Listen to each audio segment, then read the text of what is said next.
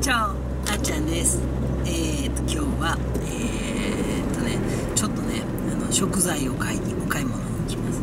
それとちょっとね一つ撮影しようかなと思ってんだけどもねでは出かけます。はい。今日ちょっとね、あのーコーヒーを飲んでこれまたね他の動画の企画他の動画の企画も兼ねてるこのシーン使います。はい。まあそんな感じでねえっ、と行きましょう。感謝されるね。今日ねちょっとねいろいろお話ししていこうかなとは思ってんねんけどね。えっ、とせっかくのねドライブやしえっ、とまあいろいろなねお話をしていこうかなと思ってんねんけども、えーまあ、ドライブしながらっていうのは結構運転に集中するからあっちゃんほんまに無意識で喋ることが多くってね。あの意識して喋るんじゃなくもうあっちゃんの心のまま喋ってしまうことが多いから結構あの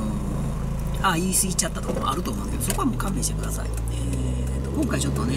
いろいろちょっと今最近話題になっててあっちゃんあんまり関わってなかったんやけどもねえーとあんまりちょっとそこに言及するのも違うしなと思って言及してなかったんやけどもうちょっと今あんまりにもひどいからねあのその話をしようかなって LGBT 法案のことやね LGBT のこと、えー法案だけじゃなくてちょっとちょっとちょっと LGBT の、えーといろんなことがあって、えーと結構ね LGBT 法とか LGBTQ とか言われてるけど結局叩かれてるのってトランスジェンダーやねんね。えっ、とトランスジェンダー T やねんね。なんでトランスジェンダーが叩かれるのかっていうと、まあ、体の性と心の性が違う不一致してるから、えー言うたら男の体を持ちながら女の心を持ってるとか女の体を持ちながら男の心を持ってるっていうね。それが社会にどう馴染むのかっていう話やねんけど正直ねあのあっちゃんも答え言います。えっ、とああいうことで波風立ててあの外で話してほしくない。終わり。あっちゃんもね正直ねいろんなことがあってトランスジェンダーだよってこう明かしたけどもね明かさんかったら普通に生きれられてたんだよ。明かすことによって叩かれる。まあまあね、あのー7年前ぐらいのあっちゃんはねそんなことも知らずに正直にあっちゃんは何でもかんでも話しすぎてました。でそうすることによってねやっぱり叩かれる。叩かれたらやっぱ自分を守るためにふざけんなってあの心は女やからなんやかんやってあっちゃん超えた時期があったけど違う、えーそれを盾にして生きるんじゃなくてあっちゃんはだから、えー一時期からねみんな気づいてないってのかな。わからんかな。あのー元男ですとかね。えー男のあった、えーとか女私は女ですとかって言葉あんまり使ってないと思うのよ、え便宜上たまに使う時もあるけどね。あんまり使わなくなった。なんでかって言ったらあっちゃんは元男じゃない。あっちゃんという生き物なんよ。で性別は？って言ったらはっきり言ってあっちゃんっていう性別なんよ。でその中であっちゃんはもともと女やと思って生きてた。ね、生きてたっていうか小さい物心ついた頃は女やと思っててやっぱり女の子の遊びとかが好きやったり、えーまいとこの姉ちゃんにねいつも連れられてていとこのお姉ちゃんと兄ちゃんがいてんだよ。であっちゃんちではあっちゃんが一番上やねん弟と妹がおんねんけどあっちゃんいつもそのいとこの姉ちゃん兄ちゃんと遊んどってんけどもね、言うてみたらそのいとこの兄ちゃん姉ちゃん2人兄弟やねんけどいとこ兄ちゃん姉ちゃんにしてみたら自分より下っておらへんから要は遊びに連れて行ってくれてたのよ。ほんでお兄ちゃんと遊ぶとやっぱり激しい系の男の子の遊びが多いからしんどい正直ね。でお姉ちゃんと遊ぶとお人形さん遊びしたりとか、えーとまあ、いろんなねそんな、あのーことをして遊んだり。でお姉ちゃんはあっちゃんに、えーとね、5つ上になるのかなうん5つ上になるからやねんけど、えーとあっちっちゃい頃やっぱ5つ上やからねやっぱりちょっとしたお料理とかできるからあの冷蔵庫から物持ってきてちょっとお料理っていうのも調味料作るだけだけどそんなんとかで食べたりして遊んだりね、まあ、そんなことしたでお姉ちゃんの友達も女の子やねんけどねもちろんねその女の子連中と一緒に遊ぶことが多かったでお姉ちゃんにお姉ちゃんの冬お洋服とかねあの小さくなったお洋服とか着せてもらってねお父ちゃんに言うと怒られるからあかんで言ってねこっそり着せてもらったりねで女の子とかと一緒に遊んでたからね。まあそんなことが多かった部屋遊びが多かったし。うんそんなんもあって。で幼稚園に行くようになってからもやっぱ女の子があっちゃんを迎えに来てあの女の子と一緒に遊びに遊ぶっていうか登園したりね、えー遊ぶことが多かったりでね。やっぱあっちゃんは女の子と遊んでるというそんな感じやからあっちゃんは自分は女の子やと思って生きてたのよ、うん、ねやっぱりある程度ね第二次成長期っていうのかな。小学校の途中中学校にかけてやねんけど。その頃でも偏見なくみんなだったんだけど中学校の時やっぱり丸坊主して男は男と女は女の子。と、まあ、もちろん小学校の時も制服あったけどさ。それでもやっぱりそんなんがあってああもう確実にこれは男っていうのが男できなあかんねんなと思って生き出してきたの。で、まあ、そんな感じやったからあっちゃんは別にその性別に関して意識して生きたことがなかった。で結局まあねなんだかんだあって、えーと、結婚して子供ができたっていうのあるけども、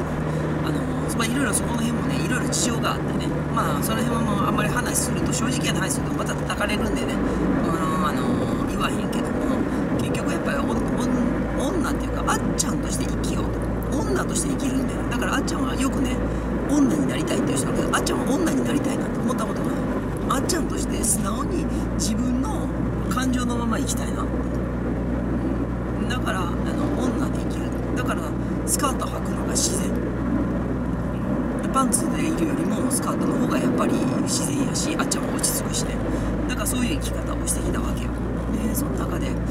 ぱりねあの何の偏見もなく生きてきた、えー、子供にカミまず子供にカミングアウトしたりね。であの SNS、Facebook とか Twitter とかやっててそこであっちゃんは Facebook ももちろん実名やからね。でそこでもやっぱり偽って生きてきてたのよ。でもあの実はあっちゃんは遺伝子がおかしかったとか男や持ってたら女の遺伝子やったとかそんな話はねパラッとつぶやいたことはあるのよ。で心がやっぱ女化してきてるみたいなこと言ってたやんがあってんけども正直女化もその元からそうです。だから男として偽って生きてたからそれをどうにかねあの修正してくれた。みんな応援してくれてたでその勢いで YouTube やってで YouTube でもそのことも言うてなかったんであんちはね。でもみんなからやっぱ女の子として見られるからあまりにも心が苦しかったんで元男ですみたいなこと言うた瞬間叩かれたからね。そっから始まって今に至ってんねんけどもえー、っと、まあ、別にその時は叩かれたらやっぱり人間あっちゃんもメンタル弱いし心が弱いから叩かれたらそうじゃないよって反発する、それでふざけんなってなる。あなったらなるだけ叩かれる。だって叩くのが楽しい人たちやもん。ええー、ネタよね。そんなん分からずあっちゃんは必死で自分を守るために自分のメンタルを守るためにやってきた。でないと自分の命すら自分でねなくしそうなぐらい追い詰められた時期もあった。だけで自殺も何回も考えた。ねまあ、もうだから生きてることすら惰性あっちゃん思ってたからねその前からみきちゃんなくした時から、うん、それぐらいの人間のメンタルをね、う、削る行為を何年もされてきて本当につらかったんよ。でもそれもやっぱり子供顔見てたら自分からしんどいこともなくね。ああこんなんカミングアウトちゃんと埋没のまんま生きてたよかった。埋没っていうのはもうそのね普段何もカミングアウトせずね普通の自分で生きる、まあ、周りが見た感じあっちゃんは女と思うのか男と思うのか。それで生きていく。男って言われたらそうです。女って言われたらそうです。それで生きていこう。それが一番楽なんよでもそうしたらよかった。もう今から取り戻すことはできへん。だってもうねカミングアウトして1万人者がいてるイコール1万人以上1万人の3倍だから3万人4万人の人があっちゃんのねもっといいやろね。あの1回通りすがりの人も含めたらもうすごい人数あっちゃんを見てくれてると。思うでその中でもあっちゃんはトランスジェンダーっていうこのねあのあれをつけられてレッテルを貼られてるわけやねんねでやねんけども、えーとまあ、トランスジェンダーっていうのは、まあ、便宜上使ってる言葉やねんけども便宜上って言い方おかしいけどだからあっちゃんは、えーと、性同一性障害、えーまあ、今でいう性別符号っていうやつやね、えー、で生きててでやっぱりね性別符号じゃなくてあっちゃんは性別なし。っていうのが一番正しいのかもわからへん。だからそういう状態で生きてきてね。はっきり言ってもうねあのみんなまあ世の中偏見が多いのよ。でまああのね今回だからリューチェルの件もそうやねんけどもやっぱりねあのカミングアウトすることによって叩かれる。叩かれてね平気な人間なんていてない。みんな叩かれたって平気だよって言っててもメンタル削られんのよ。正直あっちゃんもメンタル弱いからね。だから、まあ、かなりメンタルは削られてきてる。すんごい辛い思いをしてる。でもそれも分からず叩いてる。じゃあ叩いてきた人間を同じ感じにあなたを叩いてあげましょうかって言ったら多分人叩きで潰れると思うよ。あっちゃんは何百何千叩きされ何万叩きされてるからね。それでも一生懸命一生懸命生きてる。削られながら。だからその削られながら生きててもいつも立ち上がってくるから叩きやすいんやろうけどもさ。世の中ねうん襲ってくるマッチョな人とねか弱い人やったらか弱くって街中で倒れてる人を踏みにじる人ってそうそうおらへんけどもやっぱり強くって屈強な人って何回叩いてもこの人いいよねってサンドバッグになっちゃうよねあっちゃんもやっぱり性格上ね叩かれて弱い面見せるの嫌やから強がって生きてたら叩かれるんよねそうやって叩かれてきただからそんな感じでね本当に人を叩く行為ってどれだけ卑劣で人のメンタルを削るかってこと分かってほしいかっちゅって今更あっちゃんがさ本来の自分で生きるほんまに辛いって生きて辛いんだよって口に出した瞬間に本当に辛くなるのよ人間ねだから辛くないっていう目見せて多分